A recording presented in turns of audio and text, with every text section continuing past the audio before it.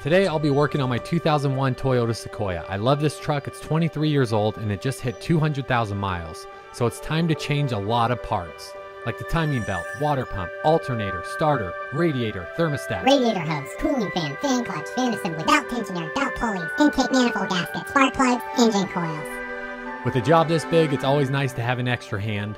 So thanks for Jirah.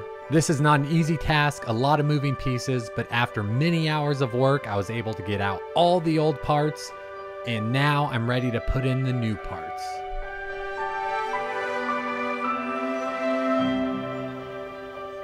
There's only one last part that I need to get out, and that is the starter, and that is under this huge intake manifold. And there she is, the new starter.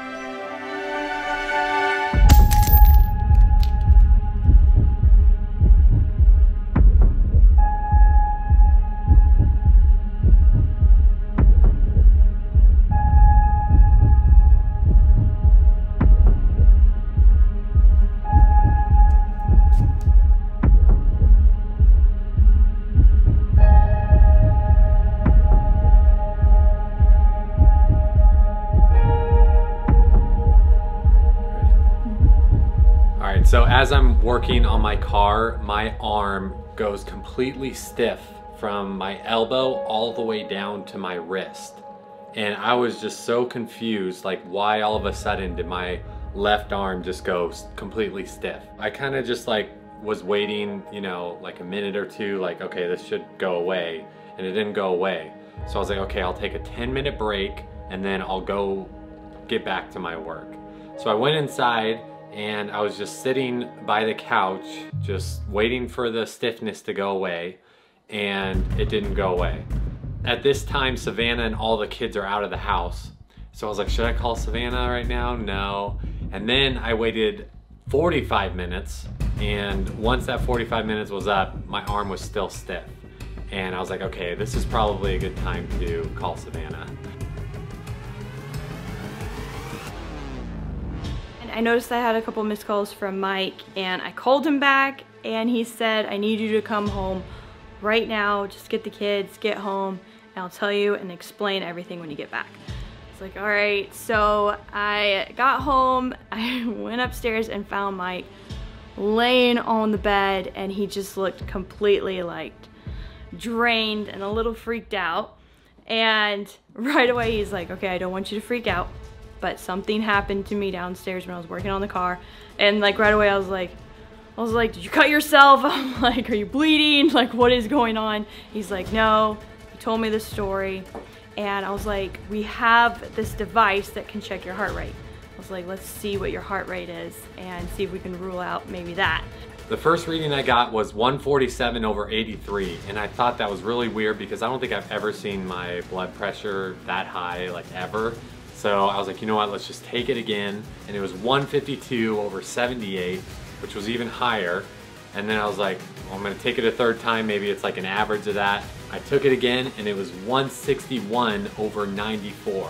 I could tell he was starting to freak out a little bit and I've not seen him like that ever before, so it was making me nervous. So my blood pressure is getting even higher.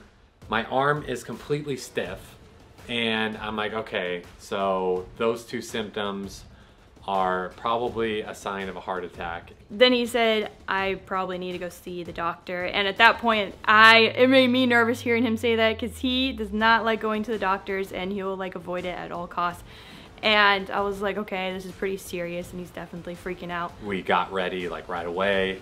And then as we were heading out the door, I kind of just glanced and saw a couple of my kids and I was like, I really hope this isn't the last time I see them.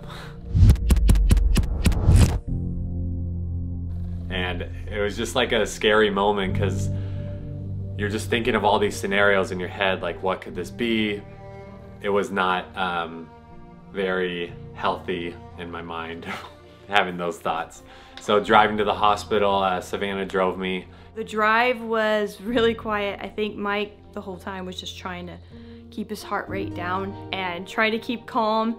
And I was just like, let's just get to the hospital as soon as we can and hopefully we can get some answers what's going on. we went into the waiting room and I had to like fill out some paperwork and stuff and I'm just like, I think I'm having a heart attack. Why am I filling out paper? They took me in and asked me what was going on. I told them all my symptoms. They went to take my blood pressure and that was one of the first things I wanted them to do because I was like maybe the one at my house was like off or something. And they said my blood pressure was 130 over 80. Definitely a lot lower than what um, our machine was saying. So I was just like, okay, that's really good. And then they started uh, listening to my heart doing a bunch of uh, like tests um, on my arm to see like pressure points, all the things they were doing. I said, I, I don't, that doesn't hurt. Um, it feels fine. What they are able to do is rule out a heart attack, which was like really good, obviously. What they basically thought had happened is I may have had like a pinched nerve and it just like basically shocked my arm. Basically, I thought everything was over with. um, that night going to bed, um, I felt a lot of like pins and needles in my legs and my heart started racing and like pounding really hard and I wasn't even like worried about anything. And then the worrying started coming back and I started to freak out a little bit like what is going on? My legs are numb and I looked up online like fast heart rate, numb legs. What does that mean? It's like heart attack. And then I was like, oh no, I think I am having a heart attack. So I'm like freaking out again in my mind. And it probably took me like over half an hour to actually fall asleep, but I was like racing heart. Like I was trying to calm myself down and I was like singing hymns and like pretending I was in church with, you know, the congregation. We're just singing and that actually helped. I didn't really realize it until the next day that I was actually having a panic attack. And I've never had one of those before, but um, I looked up what symptoms are when you have a panic attack, and it was just a long list of things that I was having. And basically, everything that had happened um, thinking I was having a heart attack, thinking I was gonna die, going to the hospital, all that stuff um, was probably a huge stress on my body. And everything that happened that night were just the after effects of all that. I, that's basically what happened is I may have pinched a nerve in my arm and then I started working it up in my brain that things were going south for me. And yeah that's kind of what happened. So I will say two nights after my panic attack I almost had another one but I had a lot more um, control over it because I knew what was going on and I think it's just very important to know um, how to deal with stressful situations like that. After everything, I was like, you know, there's that verse that talks about be anxious for nothing, but in everything, prayer and supplication, giving thanksgiving to the Lord. That really convicted me and it, it really humbled me too. Like, wow, like God is in control. I need to trust Him um, and I can't even add an hour to my life. You know that verse in Matthew that talks about you can't even gain an hour. God has your days numbered. So a lot of things like that were really um, helpful to me in that time. And your comments on our post, that was extremely helpful.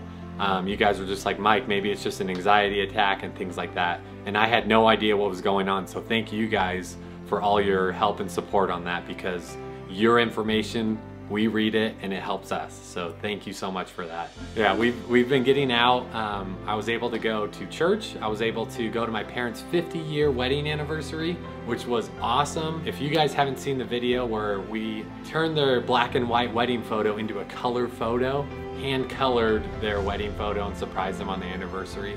It was an awesome video if you have a chance to look at it um, and get some wisdom from an amazing godly couple on how to make a marriage last.